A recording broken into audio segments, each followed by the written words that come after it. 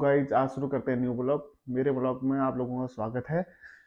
Guys आज साढ़े पाँच बजे उठा तो वॉक पे जाने वाला था तो मैं उसके बाद दोबारा बेड पे थोड़ी देर लेट गया। लेटने के चक्कर से मुझे आ गई नींद। और नींद आने के बाद मैं उठा साढ़े आठ बजे, जिसके चक्कर से मेरी मेरी मम्मी ने मुझे डांटा। और डांटने के बाद, मेरी मम्मी ने मुझे डांटा। और डांटने के बाद मैं उठा, उठने के बाद मैं बाहर गया। ये हमारी बिल्ली है। ये देखो। छोटी सी बिल्ली। ये कुछ खाती नहीं है, वैसे सूखी रोटी खाएगी, ना दूध पीती है, ना मट्ठा पीती है, ना कुछ खाती है, बस इसके लिए सूखी ड्राई रोटी चाहिए। और ये हमारी मम्मी जो खाना बना रही है, रोटी। ये देखेगी नहीं मम्मी अभी। ये रोटी बना रही है। अब बाहर को चलते हैं, आपको बाहर का नज़ारा दिखाते हैं थोड़ा सा। और बाहर चलते हुए ये मेरा घर है। पीछे आप देख रहे हो लॉबी पड़ी हुई है। और हम थोड़ा बाहर घूमते हैं। धूप बहुत तेज़ है। मॉर्निंग की धूप तेज़ होती है थोड़ा सा। बहुत तेज़ धूप निकल रही है। ये हमारे यहाँ थोड़ा फूल वूल लगा रखे हैं। ऐसा दिखता है। और मैं जा रहा हूँ अभी बाहर की ओर। ये जानवर लेने वाले आए हैं। और ये हमारा खेत की ओर जा रहा हूँ। आपको खेत का माहौल दिखाते हैं थोड़ा सा। तो ये देखो, ये हमारा ही खेत है, इसमें अभी गेहूँ बो रखा है और छोटे छोटे कल्ले निकले हुए हैं छोटे छोटे से अंकुर टाइप के। तो अभी जब 22 दिन का हो जाएगा तो इसमें पानी लग जाएगा, उसके बाद इसमें खाद पड़ जाएगी और ये थोड़ा सा ग्रोथ करेगा, उसके बाद थोड़ा एक्स्ट्रा ग्रोथ करेगा। ठीक है गाइज़ ये हमारे पीछे की गली है। ये गली ऐसी है, देखो हमारे गाँव में ऐसी गली होती है। ये मेरा घर है जो आपको दिख रहा है और ये गली है और ये बच्चे स्कूल जा रहे हैं। ये देखो, अभी बच्चे स्कूल जा रहे हैं और इनके चक्कर से मुझे डांट पड़ी, क्योंकि बच्चे स्कूल जाने लगते हैं और मम्मी को दिखते हैं। मम्मी सोचती है, इतना बड़ा हो गया, सोया है अभी निकम्मा। और बच्चे देखो छोटे छोटे कहाँ से कहाँ पहुँच जा रहे हैं। ये चक्कर है डांट खाने का। गाइज़ अभी जा रहा हूँ मैं पेपर साइन कराने। एन एम एम के पास, वो एंबुलेंस के पेपर इनको साइन कराना ज़रूर होता है मंथ में। तो मैं एंबुलेंस में भी काम करता हूँ, स्वास्थ्य विभाग में। ये मेरी गाड़ी, मैं इसमें जा रहा हूँ, देखिए, ये मेरी गाड़ी है। इसमें मैं जा रहा हूँ, यही है मेरे पास भैया जाने आने का साधन। मैं इसमें काम चलाना पड़ता है। गाई जब ये एन सेंटर पहुँच गए एन सेंटर पहुँच के और साइन कराने पेपरों में, उसके लिए हमने एन सेंटर अभी पहुँचे हैं जस्ट इसलिए आपको यहाँ का ओवरव्यू दिखा देते हैं। ये गाड़ियाँ हैं, ये आंगनबाड़ी है ये आंगनबाड़ी के ऑफ़िस है और ये एनएम सेंटर है। यहाँ बच्चे बहुत रोते हैं क्योंकि बच्चों को सुई लगती है तो उनको पेन होता है, इसलिए वो रोते हैं, इसलिए मेरे को जाना अंदर पसंद नहीं आता ज़्यादा क्योंकि बच्चों को रोते हुए मैं देख नहीं पाता हूँ। तो इसलिए बाहर खड़ा हूँ, आपको यहाँ पे से दिखा दे रहा हूँ। हल्का सा इसके अंदर ये जो दरवाज़ा, डोर बना हुआ है, इसके अंदर सुई लगाते हैं। ये लोग आ रखे अपने अपने कागजों में साइन कराने के लिए। ओके गाइज़ बाय बाय हम आपसे बाद में मिलते हैं। अपने कागज़ आकर साइन करा के। अभी साइन करा दिए हैं। पेपरों में तो साइन करा के अब वापस जाने का टाइम हो गया है। अब वापस जा रहे हैं हम लोग अपने घर के ओर। अंदर फ़ोन अलाउ नहीं था इसलिए फ़ोन ले नहीं गया। तो अभी जाते हैं घर के ओर। बस ये एन सेंटर यहाँ साइन करवा दिए। गाइड इधर मैं घूमने आया हूँ और ये हमारे घर से थोड़ा ही दूर है 400 मीटर की दूरी है। इसको धार बोलते हैं। और ये धार का एक माहौल है। यहाँ एक दुकानें हैं जो भी छोटी मोटी हमारे गाँव में मार्केट है। बस यही है जो धार पे है। और जगह हैं दुकानें, पर इस तरह की नहीं है। चार पाँच यहाँ पर बालवर पोस्ट ऑफ़िस या किराना स्टोर या कुछ भी पकौड़े वकौड़े बोलो, खाद की दुकान बोलो या कोई भी दुकानें हो या बैठने का माहौल बनाने वाली जगह हो तो ये धार है। और यहीं पे देखो धार इसलिए बोलते हैं क्योंकि ये थोड़ा ऊँची जगह है, जो पीछे आपको जगह दिख रही है। थोड़ी सी ऊँची है, यहाँ पानी कम भरता है बरसात में भी तो इसलिए धार बोलते हैं हमारे पहाड़ी में, हम कुमाऊनी लोग हैं तो इसलिए धार बोलते हैं इसको। और यहाँ देखो, पार्क जैसा सिस्टम है, एक बैठने में अलग ही माहौल बन जाता है इधर। ये हमारे सुनील भाई हैं। इनका घर बगल पे ही है और ये आ, ये हेलो गाइस ये सुनील भाई है हमारे।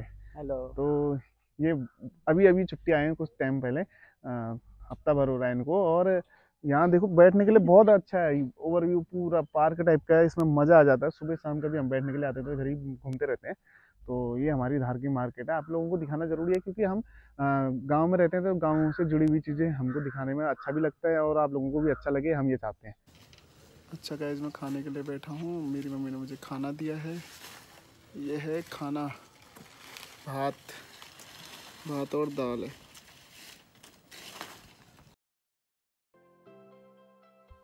गाइस ये जा रहा हूँ मैं अपने चाचा के यहाँ। चाचा के यहाँ से फ़ोन आया था। मेरे भाई ने फ़ोन किया था, चाचा का लड़का है। तो मैंने सोचा क्यों ना वहाँ जाकर थोड़ा टाइम पास कर लें उसके साथ गप्पे सप्पे करके और थोड़ी देर वहाँ बैठेंगे, फिर वापस आ जाएँगे गाइज़ तो अभी जा रहा हूँ वहाँ, जैसे ही पहुँचूँगा आपको उनका थोड़ा सा घर हर दिखा दूँगा। बाहर से ओवरव्यू ये बस पहुँचने वाला हूँ गाइज़ ये पहुँच गया। अब ये उनका घर है, देखो। गेट था ये उनका और ये ये आगे जो घर है और ये उनका आँगन है आगे। आँगन के बाद ये उनका कंपेन पेन खड़ा है, ये मेन गेट है। गैज आप, आपसे बाद में मिलते हैं। गाइज़ ये हमारी बकरी है और ये बकरी का बच्चा है। ये बाँध रखे हैं इधर पे और चारा रखा दिया है, शाम का वक्त है। और हमारा ये पीछे जो हरा हरा दिख रहा है, सब्ज़ियाँ लगी है, आलू आलू राई, हाई लगी है। मैं आपको और कुछ भी दिखाता हूँ। आप बने रहो इस वीडियो में। बहुत कुछ देखने के लिए मिलेगा। ये एंबुलेंस है, इसको मैं चलाता हूँ पार्ट टाइम कभी कभी और ये हमारी गाय है, दूध देती है। और इसका बछड़ा वो है, छोटा सा। और ये दो और हैं, लिटिल लिटिल, स्मॉल। और ये दो बड़े भैंसे हैं और वो छोटी सी बच्चिया है। और आप लोग, ये देखो हमारा पूरा एरिया ऐसा दिखता है। यहाँ जानवर पूरे बदे होते हैं और यहीं से गेट है। गेट हमारे यहाँ ऐसे बनता है। हम पहाड़ी लोग हैं। तो गाँव में हमारे गेट ऐसे बनाते हैं हम लोग। जो लकड़ी लकड़ी लगा रखी हैं ऐसे करके। गाय ये जंगल से जानवर आ रहे हैं। तो ये शाम का साढ़े चार, पाँच बजे का वक्त है। तो ऐसे ही ये सुबह जाते हैं और शाम को आ जाते हैं।